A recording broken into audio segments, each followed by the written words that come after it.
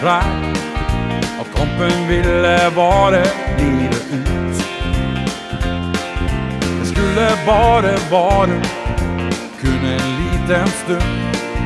Men bilder han fikk se, har brent seg fast. Dagene blir aldri de samme nå som før. Han kjemper nå sin kamp på liv og død.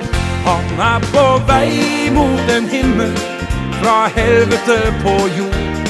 Om dagen blir det godt å komme hjem.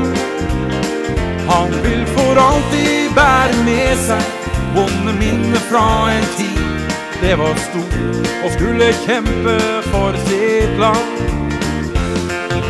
Minner blir hans fiende, nei, du slipper aldri tak. Tåreskrik og redsel var normalt. Mange søkte spenning, men ble møtt med skarpe skudd. Flere av hans venner falt i kamp. Frihet koster mer enn ord og sympati. Som person har han ikke mer å gi. Han er på vei mot en himmel fra helvete på jord. Om dagen blir det godt å komme hjem.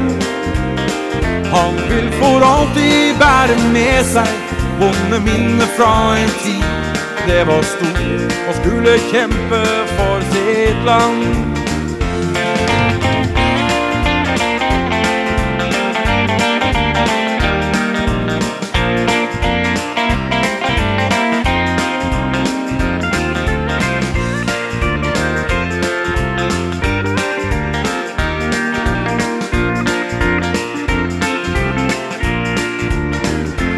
Er på vei mot en himmel fra helvete på jord.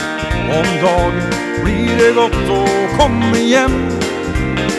Han vil for alltid bære med seg vonde minner fra en tid det var stort og skulle kjempe for sitt land. Ja, det var stort og skulle kjempe for sitt land.